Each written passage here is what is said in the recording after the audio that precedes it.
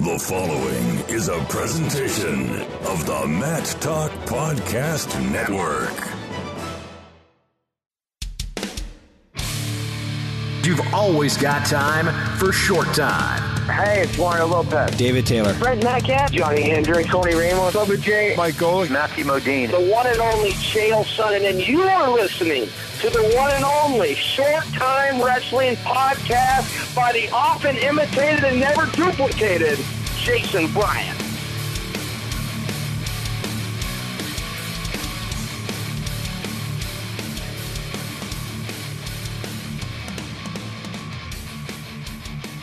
As we get started here on the Short Time Wrestling Podcast, Emma Randall and I just kind of joking around about how we've grown as people since uh, since I left USA Wrestling. But Emma is the only woman in the United States who is gold certified coach, and she's an assistant national team coach under Coach Terry Steiner, along with Clarissa Chun. Emma, welcome to the program. Hey, thanks, Jason. I'm glad to be here. You know, our first formal interview, like ever. I mean, it's like when you were interning at USA Wrestling. Terry's office is upstairs. Mine was upstairs. It was basically like, who can we like joke around with in the office? Like, okay, hey, there's Emma. But uh, what's going back to your career? It's been kind of an interesting path to follow. You grew up in Ohio. Uh, where did you first discover wrestling? Uh, I fell in love with wrestling watching my brother practice. I'm from a small family. Um, while my brother was on the mat, I was forced to watch his wrestling, and so I spent my time on the side shadowing what he was doing, um, trying to earn my place on the mat. So, at, at what age were you? And you said, "Okay, I'm, I'm going to do this. Actually, I'm actually going to compete, not just like roll around." Uh, I wanted to get on the mat when I started kindergarten. However, uh, my parents and some of the coaches around didn't quite have the same ideas. Uh, by the time I made it to third grade, I had been practicing with the guys during their season, but I was never allowed to compete. Finally, um, they let me on the mat, and I got to compete, and I ended up placing second in the state that year. So. What were some of those early hurdles besides just like, okay, you're not going to wrestle, but uh, you know, we're looking back. Women's wrestling's been accepted for a while now, but still, when you're at the younger age groups, it doesn't seem to be a big problem until you start winning. Uh, you know, I think some hurdle, some hurdles that I faced were the fact that I didn't see another female wrestler until I was a sophomore in high school. So immediately I thought something was wrong with me. Why would I love the sport that there's not a lot of other people who who truly care about it and and are in it? Uh, and then I think there's a lot of pressure that comes with winning. They expect repeated wins. Uh, it's hard to continue success, especially at a young age, because you're growing, constantly changing you might think within your own perspective that you're the hardest working person in the state or in the country, but really you're not, right? It's your own perspective and seeing how great a lot of these other kids are and how hard they're working too. So I think as far as barriers I faced, it was not getting around other women. And secondly, uh, I think just winning's hard, you know? when you got on the senior level, you were you were at a higher weight class. How much does the growth affect with women's wrestling? Because when you're you're the same size you know little guys and little girls, okay, the strength issue isn't as as much. There, you know, you can be, be technical, you can be just as strong as boys. And as the women start to grow into those bigger, more I guess stronger weight classes for the boys, how does that affect your psyche when when the success might not come as much as it was against the boys beforehand as you go to a bigger weight class? Oh, it's so hard, so hard. My sophomore year, I finished the boys' season. I was wrestling like 112. Uh, by the time USGWA Nationals rolled around, I was wrestling 138. so I hit a growth spurt, and it wasn't just a small one. I moved from the scrawny, skinny boys to the men, and I went from being successful in some positions to not being su- successful at all. And it actually uh, deterred my desire to even be in the sport because I started questioning: Do I really belong with these people? Um, that's when I found wrestling women. Um, that's when I truly saw that I can hang with women who are my own size. What I can use the guys for are drilling opportunities, for getting more mat time, for feeling different positions and getting a different feel than I would wrestling a female. So it's there's pros and cons with everything, right, Jason? Yeah, I, I didn't want to wrestle any girls my size. That would have been really bad for probably me. But as, as we look at going from high school and then you went to Lock Haven. Why why Lock Haven after high school? There were there were some women's college programs at that time, but uh, ultimately, why'd you head to? Uh, I, I lived in Pennsylvania, so I can say it. I can say Pennsylvania. I'm a Haven Nationer for life. I, I love the Haven. But um, when I graduated high school, I knew my senior year that I wanted to play collegiate sports. I played a lot of sports in high school. My my junior and senior year of high school, I played basketball. I was terrible. Basically, they just used me to hit people. Um, so I would practice with the boys when I could. I played basketball. Uh, and then during the girls' seasons, I would wrestle girls because it just wasn't quite the opportunity that I wanted at those upper weights against the guys. So I was playing tennis, track, wrestling, and basketball all of my, my throughout my high school career. So I really knew that sports are my passion. Uh, honestly, I thought I was going to play tennis, and I just really wanted to skip school one day and go on a college visit. And I thought, you know, you get a college day, so why not drive to Lock Haven? And it ended up being during the snowstorm, and we're driving through central Pennsylvania, which you know is full of mountains. and so we're going up and down, and it's getting prettier and prettier. And we stopped finally when we got to Lock Haven. I got out, and there was a snowflake the size of my hand. Uh, Lock Haven was wrestling Penn State that day. I met Sharon Taylor. Uh, our athletic director at the time. I loved our coach, Coach Fike. I loved our our uh, sport administration program, and that's what I wanted to study. And I knew right there in that 24 hour span that that's where I wanted to be, and that would be my home. So that's what made the decision easy for me. Jenny Wong and Sarah McMahon had come through Lock Haven before you, and even though it wasn't a formal varsity program, uh, you know, you mentioned Terry Fike and uh, bringing Lock, women's wrestling to Lock Haven beyond uh, Jenny and Sarah. What was that opportunity like to kind of blaze a trail a little bit, even though it's still not a varsity sport at Lock Haven, but that opportunity? What did the school provide you as far as wrestling opportunities? Uh, the school treated us like varsity athletes. They took us to competitions. They sent us overseas. Uh, we were constantly training, competing. They they loved us. They put their arms around us and included us. I think what made my transition a little bit easier is uh, Carl Poff, the former coach at Lock Haven, was actually my student advisor. Uh, so I got to have him in class. I got to sit and talk with him whenever I needed to chat, and he truly wrapped his arms around me and, and told us that we were important and that although we were a small team, that we had big goals and that with the support we could achieve whatever we wanted to. So how much did he look back at the opportunities that, that Sarah and Jenny had at Lock Haven to to you know imprint on on your your experience? Right. He he encouraged us to stick with it. You know, things are not always going to be easy. You're always fighting for a space. You know, I'd like to say that women's wrestling uh, is accepted by everyone, but it's not. You know, I think uh, it's been a long time since our first world championships, but some of us are still fighting to get on that mat. So uh, he reminded us where the program was and where it is today, and to look at the bigger picture and see the growth and believe that because the people in front of us could do it, so could we. Uh, both both Coach Poff and uh, Terry Fike were, were great about that. And you mentioned Sharon Taylor, longtime AD there, who has not exactly been the most uh, highly thought of person in some circles in the wrestling community.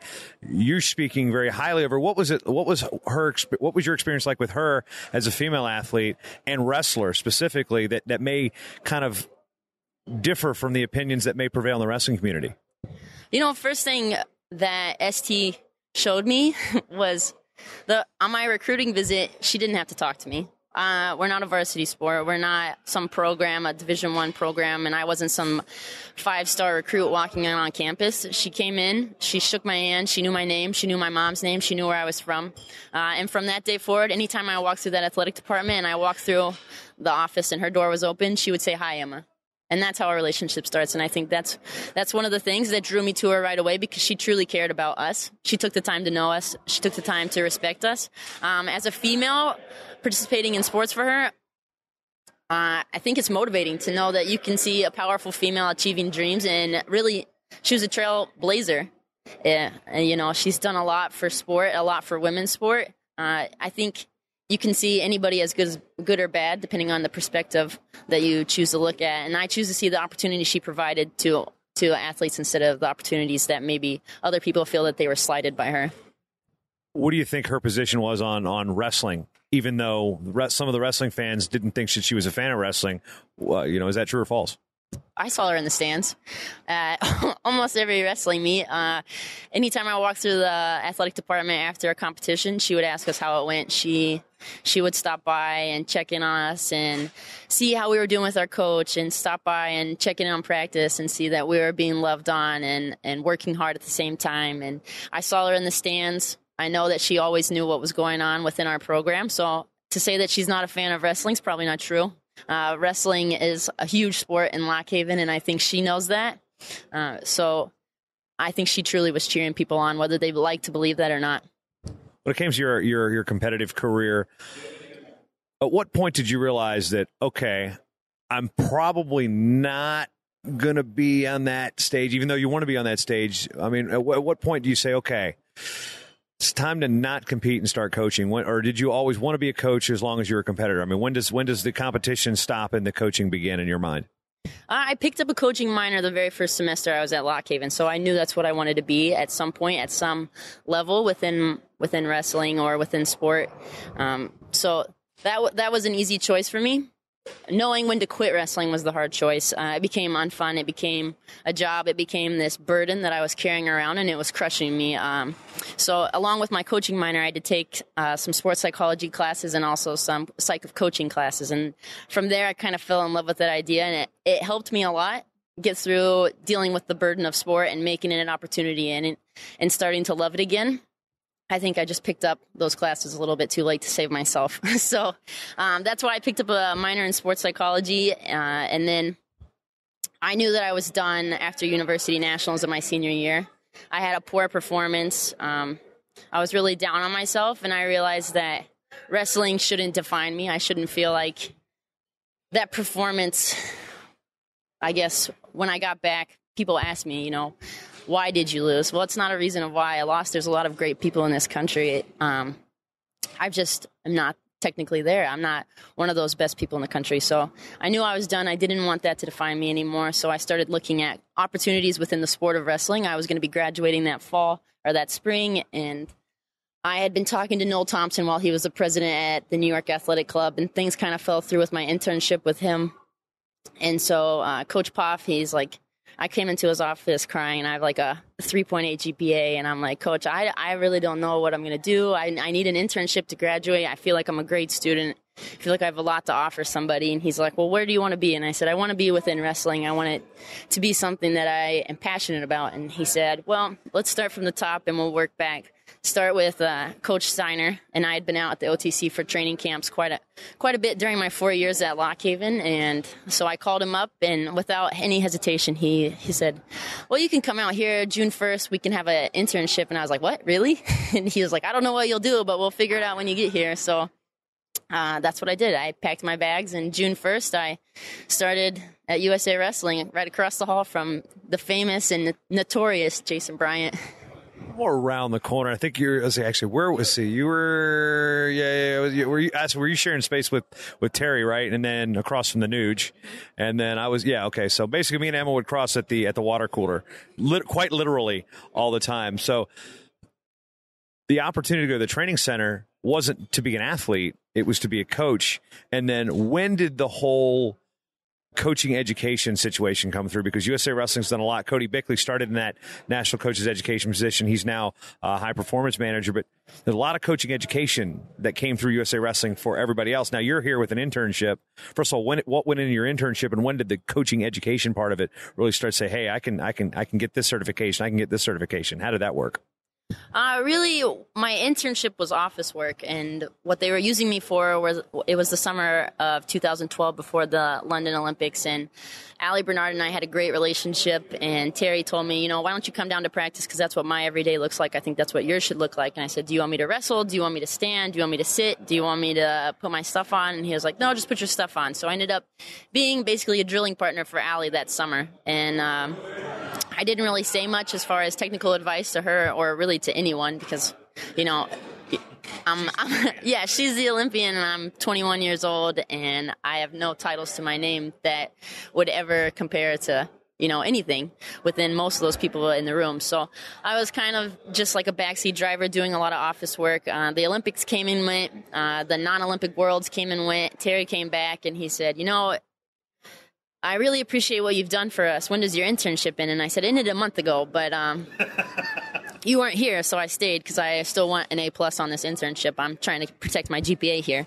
and so so he he said, all right, well, I really appreciate it. And I said, well, my lease doesn't end until December, so I'd like to stay and continue it and really get some more field experience while I can. He said, that's great. And then the next weekend, uh, Coach Izzy called Terry and said, we need to have a meeting. And that's when Izzy left our staff and took a, a teaching job, a principal job uh, in town. So on Sunday, Terry calls me, and it's he always calls me at the crack of dawn, and he's like, "What are you doing?" And I'm like, "I'm sleeping like a normal human." and uh, he says, "He says, well, can you meet me at like 2 p.m.?" And I was like, "Okay, whatever." And then 1 p.m. rolls around, or sorry, the next hour goes by, and he says, calls me back. He said, "Can you can we go at one?" And then like half an hour later, he says, "Can we go at noon?" And then he calls me again. He said, "Can you just come now?"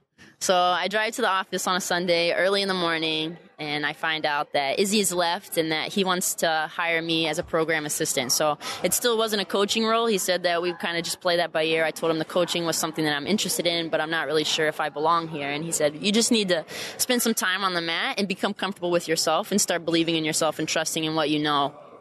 Uh, so I started working with some of our younger athletes at that time who were about my age or a little bit younger. And those were the people who I was really truly sharing advice with, not very much, but still finding my voice within the wrestling room. And then that spring, I got added to the Klippan Open tour staff. So they were like, hey, you need to get your bronze certification to make this happen. So that's how I got involved. I got my toes wet with Klippan and the bronze certification. And then as we were progressing into the summer, we were talking about how do we make our coaching staff better? How do we make our program staff better? And how do we improve ourselves? So the first thing I thought was I, I I'm a student. I love taking classes. I I was doing my master's at that time too, and so I started taking the silver course and started working towards it. And then a year later, I started working towards the gold course. The gold gold course. Sorry, I can't talk with uh, Mike Clayton and finally, it seemed like forever, but finally I had enough credits and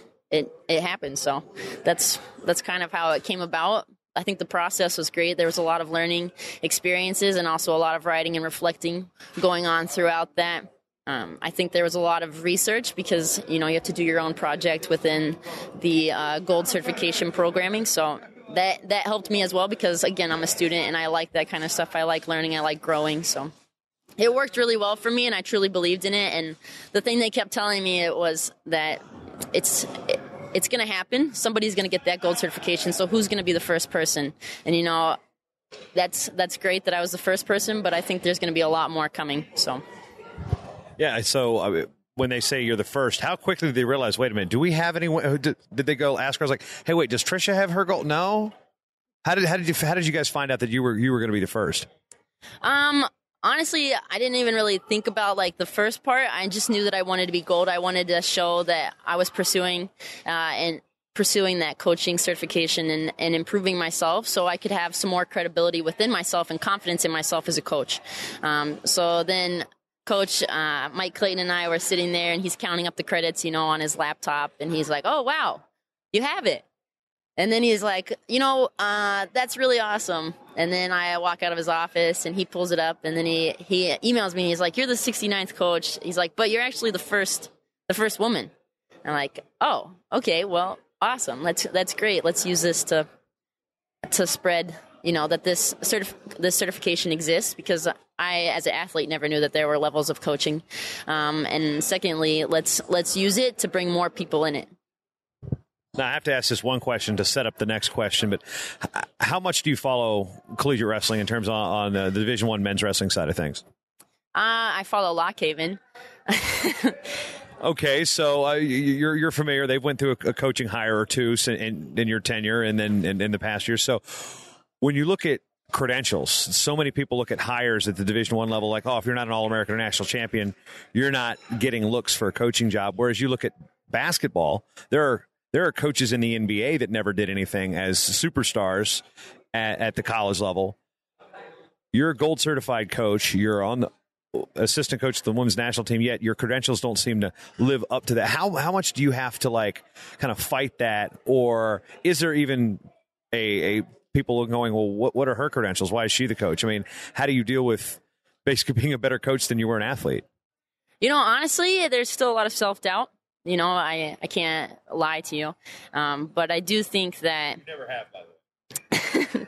I do think that you know just because there's not a medal around your neck doesn't mean that you can't tell that their ear's not tight to the person that they're shooting on. Just because you didn't win a medal around your neck doesn't mean you don't know how to sprawl. I think there's a lot of things that I couldn't do physically as an athlete. So as a coach, I pay a lot of attention to uh, watching technique, paying attention to what's going on and, and how can we improve our positions. And it worked out really well the first year that I was within the program and more than just an intern was a year that we spent every day, two hours a day for the first six months.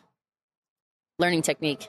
And we did position by position by position. If I do this and my opponent does this, what do I do for reaction? What do I do for a reaction? And I have notebooks upon notebooks upon notebooks of notes and thinking about those things and elaborating. And that's the kind of way that my brain works is how can I piece these things together and understand a situation on how to react. And I think, you know, maybe some things that came easy to people who have medals around their neck, which there's nothing against them. I, am not saying that if you if you're talented that you can't coach. I'm just saying that a lot of things that might have come easy for them, I spent a lot of time watching, you know, and thinking about and spending time feeling it within myself and watching the athletes do it and how can I break this down into something more fundamental? How can I show them in a way that makes more sense? So, you know, I, I think attention to detail is something that as my personality trait I, I have, but also um, as a coach, it's really it's really helped me this is always the hindsight question because I've been around wrestling for you know over twenty something years, and I look back and I go, seeing as much wrestling as I've seen, I go, man, I'd, I'd really like to wrestle myself as a high school kid to see what what I know now compared to what I knew then. Do you ever think about looking at your career, going, man, if I'd have just known this then, or know know then what I know now? Oh my gosh, there's so many things I'd like to change. Holy cow! Probably if the double knee pads first would be the first thing to go. Uh, possibly the headgear as well.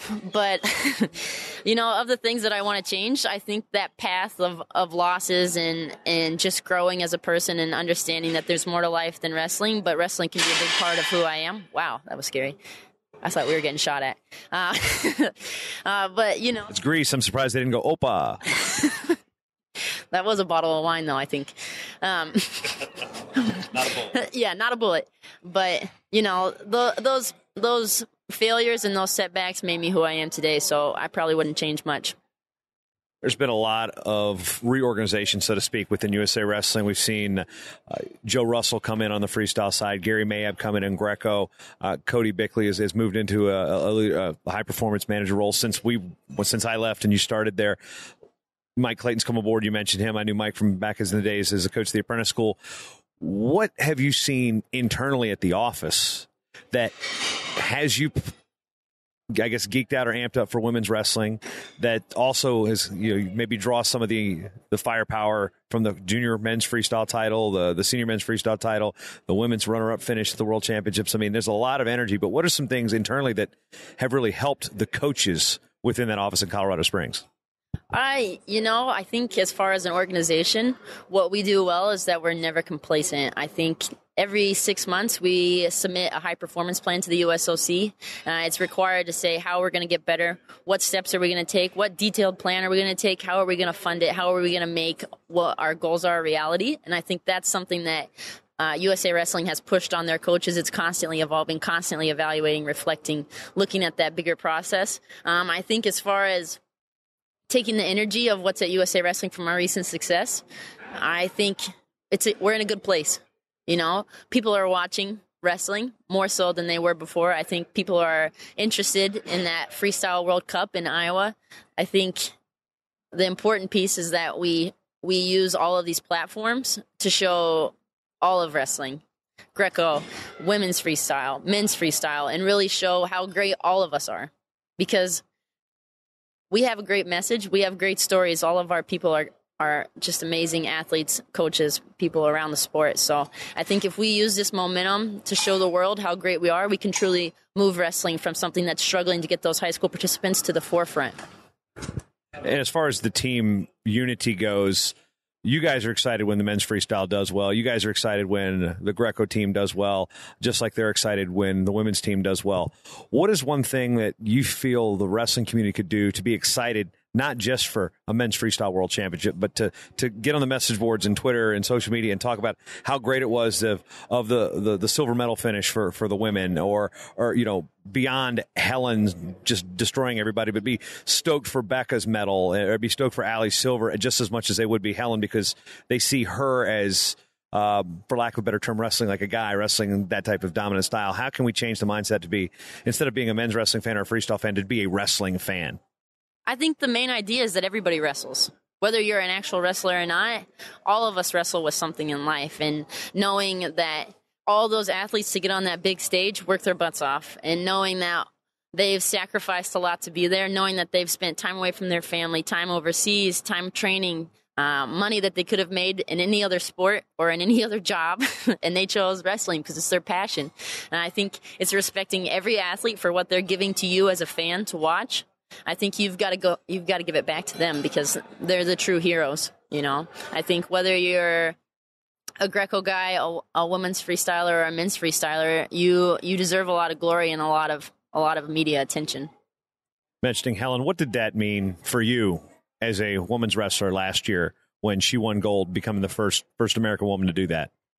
You know, for me, it feels like the four minute mile. You know, they say it can't be done. We can't beat Japan. They say we'll never get a gold medal. This girl will never get never get beaten. And you know, David slayed the Goliath. You know, that's kind of what it's like. And now everybody's eyes are open, and you and what seemed impossible now seems possible, and it seems attainable, and it's something that we can physically touch.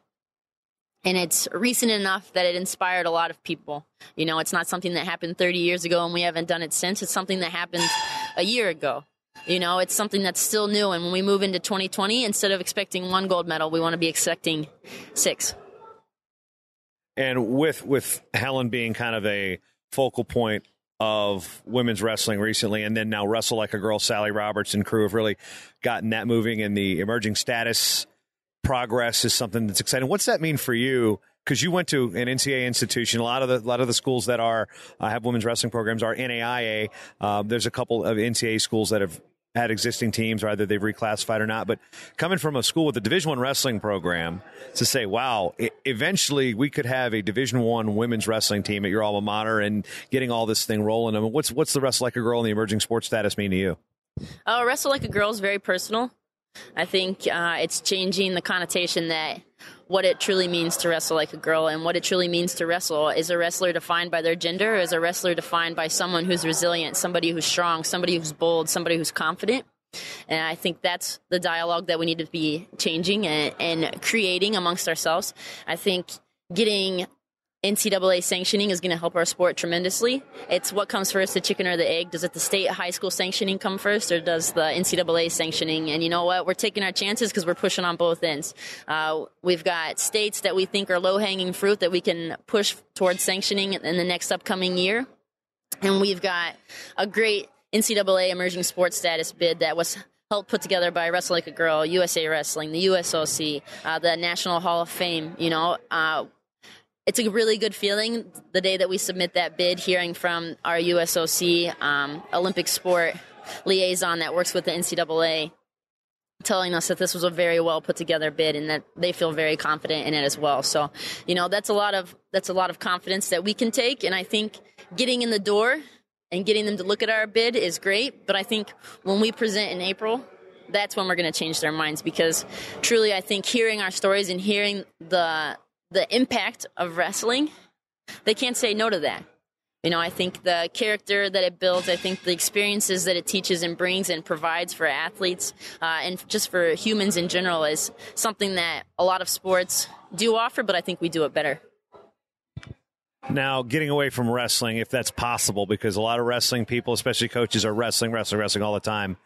When you need to decompress and get away from wrestling, what are, what are some activities that Colorado Springs has presented to you that, that makes one living there great and being able to say, okay, there, I actually, I'm at a place where, yes, I work at USA Wrestling, I'm a coach, but I can have a life outside of wrestling. Uh, for me, you'll find me in nature. Uh, it's either hiking until I get to the point where my mind clears and I kind of work through this internal dialogue of what we can do better and how I can be better and how our athletes can be better um, until finally there's some clarity and there's just peace within myself. Um, some other things I do is I hike up to the top of a mountain, set up my hammock, and start reading or uh, just watch Netflix that I might have downloaded.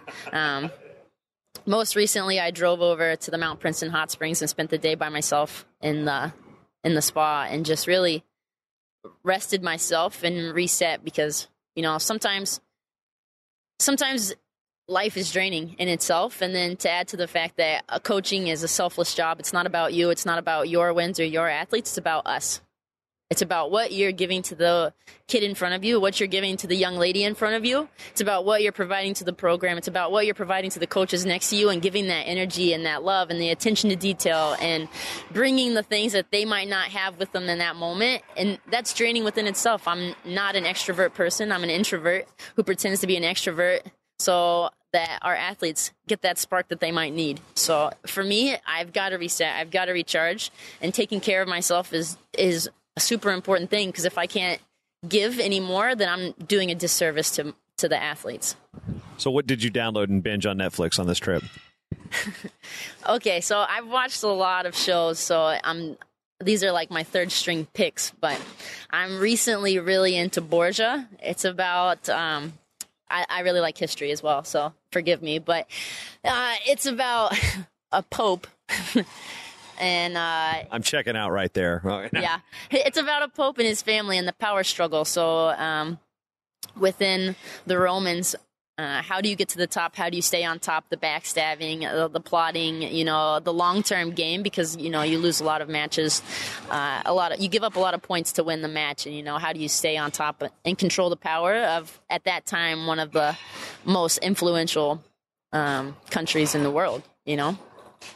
So I think there's there's some weird, weird, uh, I guess, kind of parallels, but not really.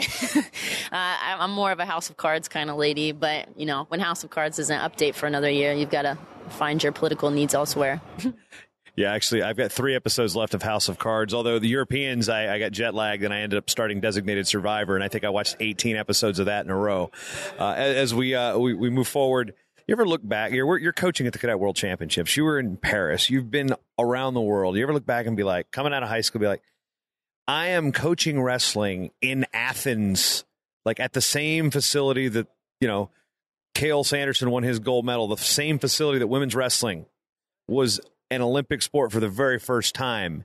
And the first two medalists, Patricia and Sarah, come away with medals in this building. You have to pinch yourself at all? You know, I think about that a lot. There wasn't a lot of high expectations, I think, when I graduated high school. Um, I'm from a really small town. We've got two stoplights. I went to Greenview. I graduated with less than 200 people in my class. Um, I grew up on a farm. My parents owned a feed store. and I'm traveling the world doing something that I love, um, coaching some of the best athletes in the world. And it's, it's unreal, you know, to to really live this life and to have this opportunity. I'm truly grateful for Terry picking up the phone that day and telling me to pack my bags. So. Terry, the notorious low talker. Okay, you gotta you gotta throw us some funny Terry stories here because we've I know we've both got plenty. Actually, Ravens here, his daughter's floating around too, and she we're watching some of the videos we did like eight years ago when I was working there. But what is what are some Terryisms that people realize like this guy this guy this guy needs some social awareness sometimes. Uh, I guess I'd start with my internship right away. I spent six months literally two feet across the desk from him, and he would send me emails of what I should be working on. no social skills. I, at the end of my internship, I got a report back, and it was like, such a great worker, da da da, all these details, and I'm like, he didn't say a single thing to me that made me thought that made me think that I could even like do anything right. And so, yeah, yeah, I was I was gonna be upset. Uh, some other Terry things, you know again, he calls me all the time in the morning at like six o'clock. What are you doing? Uh, we do workouts together. We do coach workouts, and um, we'll we'll show up at the gym and I'll say, "What do you want to do today?" And he says, "I don't know." And then he'll reach into his duffel bag and pull out a printed workout. Um, and, and, then we'll do the printed workout, which is like supersets of four exercises, like 15 times through, you know, cause he's an Iowa wrestler. So he's relentless. And then I'm think, I'm thinking that we're done. And he's like, grab a, grab a barbell. He's like, hold it over your head. Let's see if we can hold it for five minutes. I'm like, what is this doing? This isn't even real strength. They're just holding something, you know? So he, you never know what he's going to say, what he's going to do. He's, he's wild. Over my time with him, though, I think some of the some of the most fun things have been off the mat. Uh, sightseeing, uh, just exploring. We spent a day in Hungary on bikes, sightseeing the city with e- just each other, uh, going site to site to site, kind of relaxing, decompressing. Uh, most recently, you'll have to ask him about this. He uh, got to ride on Chris Pendleton's bike handlebars through the streets of Paris. You know, so what are we twelve? this is quite a sight to see, Jason. I think I think the world should see it. I'm not sure if the world's ready for that video, but I do know Flo possess it. so, um, you know, he's always surprised, always always something with Terry. So I I can't work for a better guy, you know, and I can't beat Chun either. She's a pretty good pretty good coworker.